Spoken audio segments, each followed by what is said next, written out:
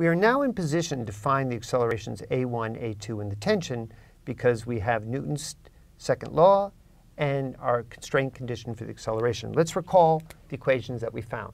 We had m1g minus t was m1a1, and we had m2g minus 2t was equal to m2a2.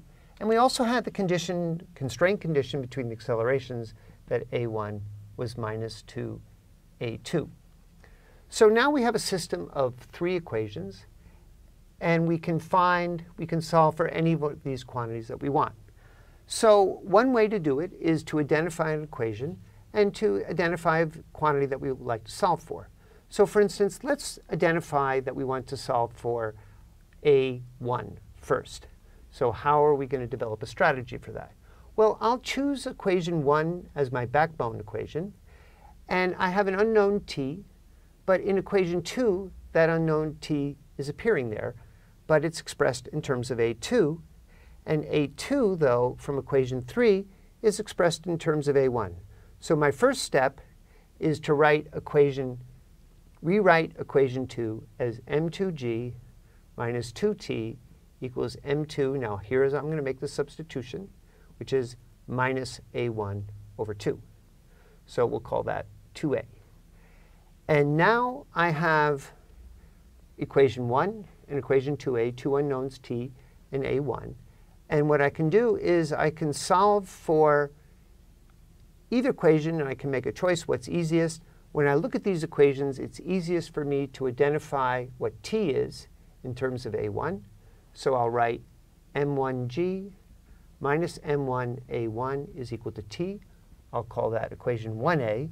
And now I can substitute that value of t into equation 2a, and I get m2g minus 2 times m1g minus m1 a1, and that's equal to minus m2 over 2 times a1. And now I'd like to collect my a1 terms.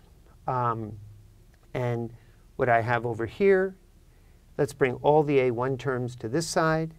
And I get m2g minus 2 m1g.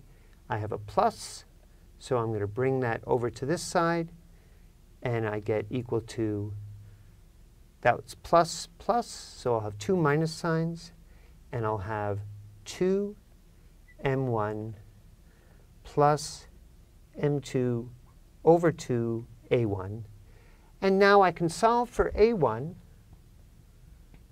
and what I get is I get 2 m1g minus m2g, and I want to divide through by this denominator.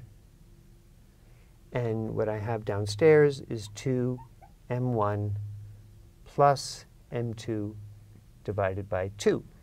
And that's my expression for a1. Once I have that expression for a1, I can easily come back and find out what a2 is, or I can substitute into the equation here for A1 and find out what the tension is. And so I can now easily find my expressions for A2 and T, but I'll leave that as an exercise.